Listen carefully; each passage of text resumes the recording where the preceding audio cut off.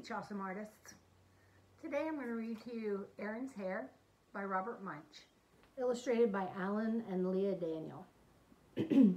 Robert Munsch is a very funny writer. Almost all of his books are extremely silly. Um, they kind of start out with realistic things, things that really happen to us in real life, and then they go completely off the rails to what could happen if. Um, so let's read. Aaron wanted to be just like his daddy, so he let his hair get long. Only then he started to have problems.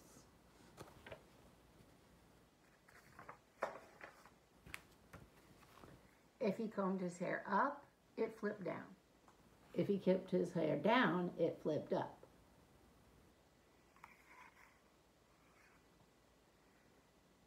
If he combed his hair over, it flipped under. If he combed his hair under, it flipped over. One day, while Aaron was combing his hair, he got so mad that he yelled, Hair, I hate you!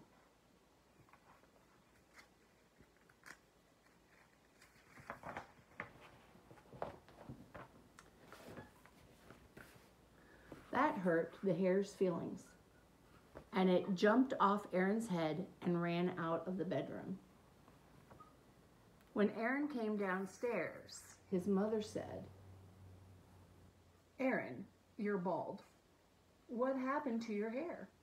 My hair ran away, said Aaron. I got mad at it, and it ran away. That is terrible, said his mother. So you must go and get it. So Aaron ran out the door and his mother went to pick up the baby and she noticed that the baby had a lot of hair. Aaron, she called, I found your hair.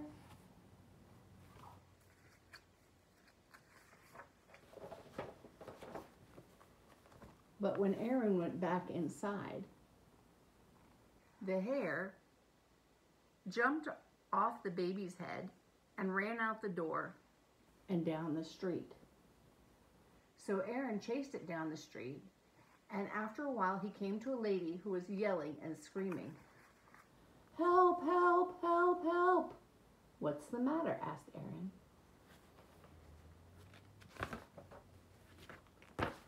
Look at my tummy, said the lady. This hair came running down the street and now it is growing on my tummy. It does look a little strange, said Aaron. Get it off. Make it go away, said the lady. Just tell it to get off, said Aaron. Tell it you don't like it. So the hair, the lady yelled, Hair, I hate you. And the hair jumped off the lady and ran down the street, and Aaron ran after it.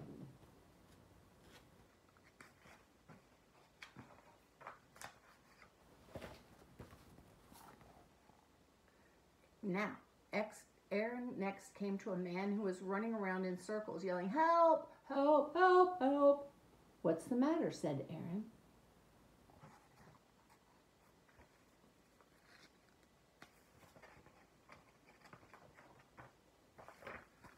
Look at me, said the man. This hair came running down the street, and now it is growing on my behind.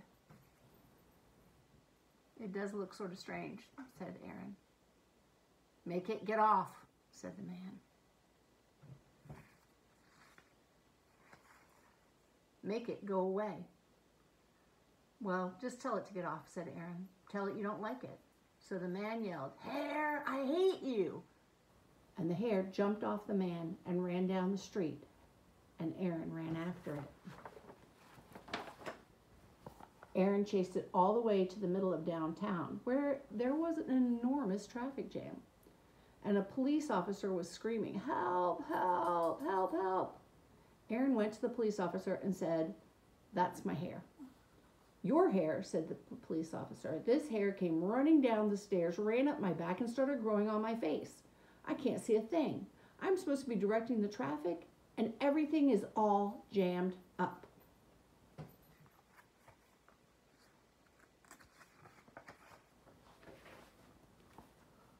Right, said Aaron.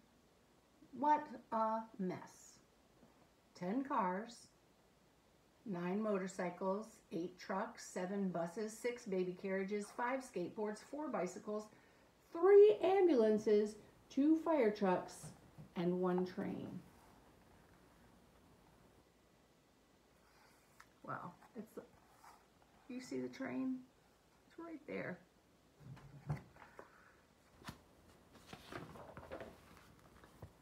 And my face, said the police officer. This hair is growing on my face.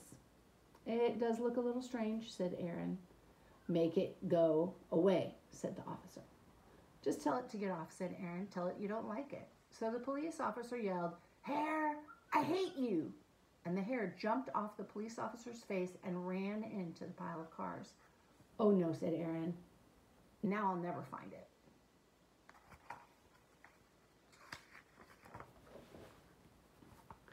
Just then, the police chief came up. What is going on? Everything is all jammed up. And who put the hair on the statue? Statue, said Aaron. The statue by the fountain, said the police chief. The one you kids are always messing around with? Get the hair off the statue.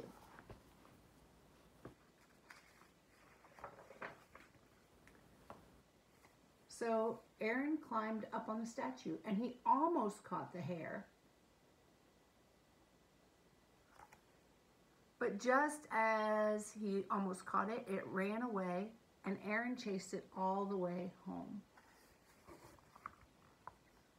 But then he couldn't find it at all. Do you see there?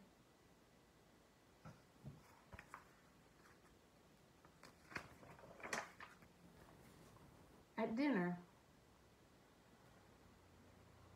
Aaron said, I miss my hair. I'm going to be bald forever. I like my hair. I wish it would come back.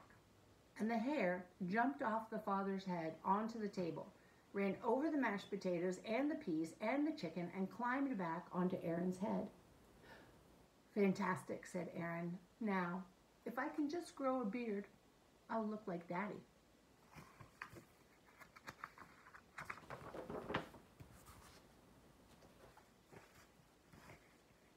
No problem, said the hair.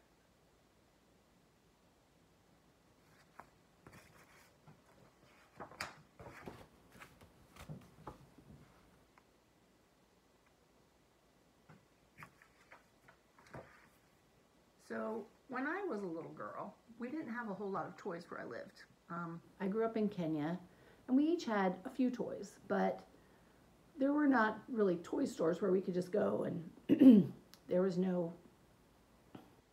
um, easy access to that kind of thing. So we, my sisters and I, used to make our own paper dolls.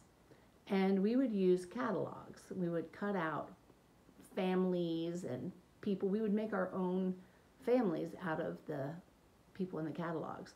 And I thought that would be a kind of a fun thing to do. So I cut out some pictures. Well, I used some pictures, uh, I used photographs from my computer. So I took a picture of myself and a picture of my dog. And I printed them out on my computer and on my printer and um, cut them out. Now,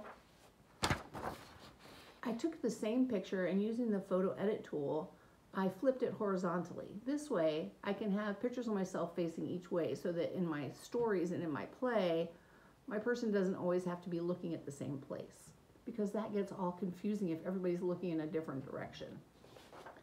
So I cut out these two pictures of Chomp. That's my dog. So that he looks like one way he can be looking at me this way or he can be looking the other way from me. Flipping it horizontally just gives me extra options. Okay. I also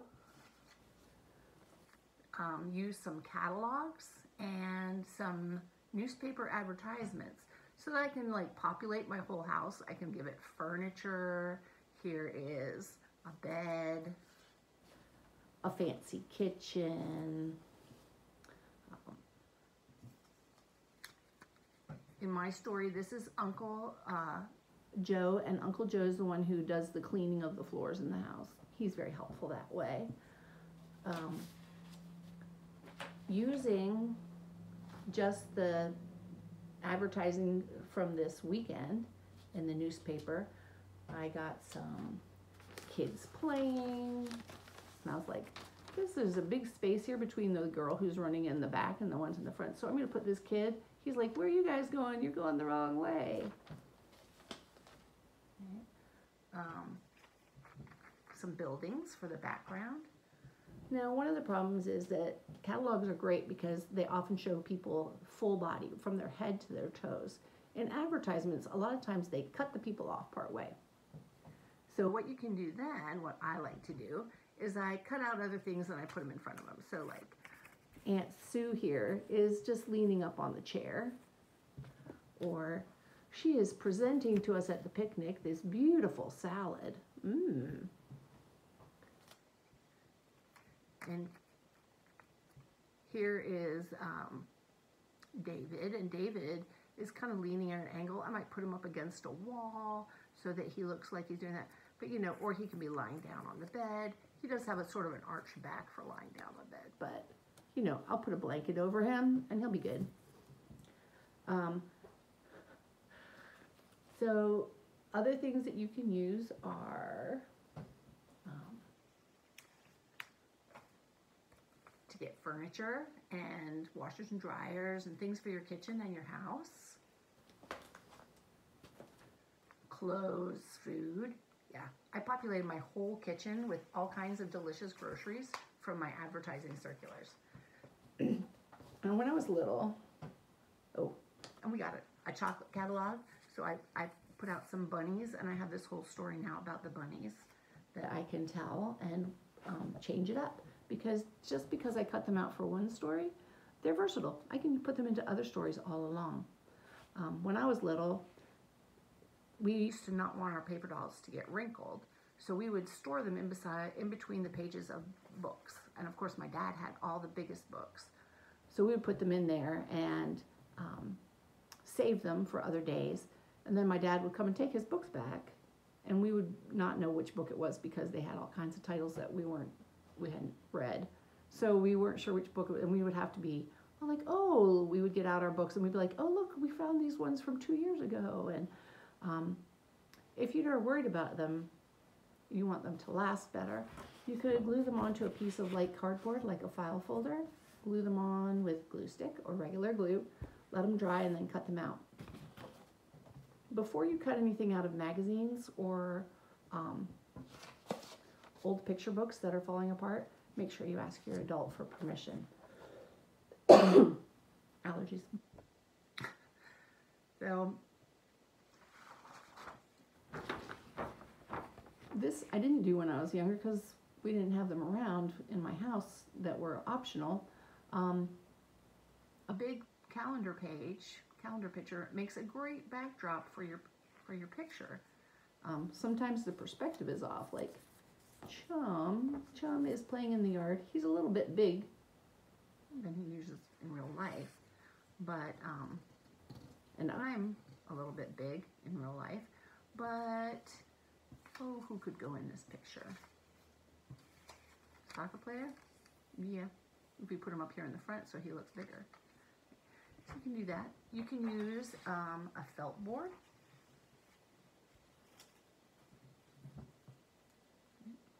So a little bit of felt or fabric on the back of the picture will help it stay up better.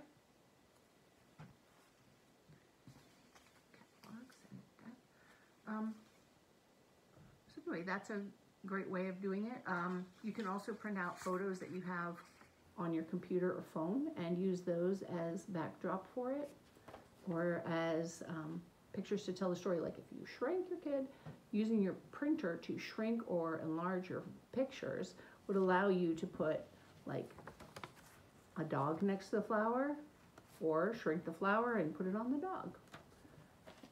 So have fun with this art idea and let me know if you have other ideas of places to get pictures or ways to use these paper dolls. See you next time.